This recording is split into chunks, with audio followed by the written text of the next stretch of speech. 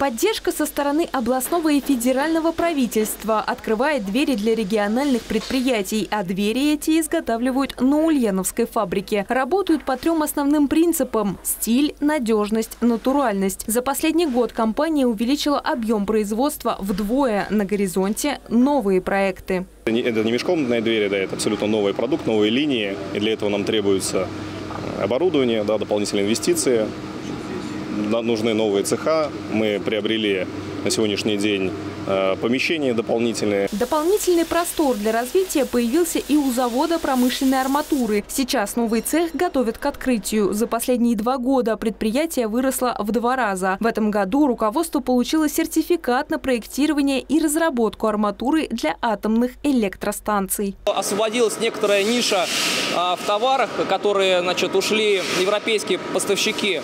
И мы основной упор делаем на а, импортозамещение аналогичной продукции из Америки и Европы хотим э, насытить рынок российскими товарами. Помогают и международные связи. К примеру, после визита главы региона в Узбекистан завод получил новых партнеров. Так, областное правительство содействует динамичному развитию будущих флагманов промышленной отрасли. Для компаний доступно льготное кредитование. Если масштабы большие, привлекается федеральный фонд. Помогаем продвигать им свою продукцию.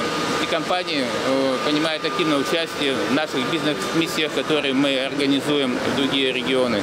И действительно есть результат, есть э, контракты. Искать потенциальных партнеров помогает и нас проект «Малое и среднее предпринимательство». С его помощью руководители компании проходят полный цикл развития от стартовой идеи до выхода на экспорт. В рамках этого же национального проекта вы знаете о том, что существуют меры финансовой поддержки, которые есть на территории региона. Это фонд развития промышленности, фонд микрофинансирования, которым тоже активно эти предприятия пользуются. В основном средства идут на покупку оборудования. С его помощью предприятия могут осваивать новые технологии производства и, как следствие, выходить на новые рынки сбыта. Александра Никитина и Александр Кудряшов. Улправда ТВ.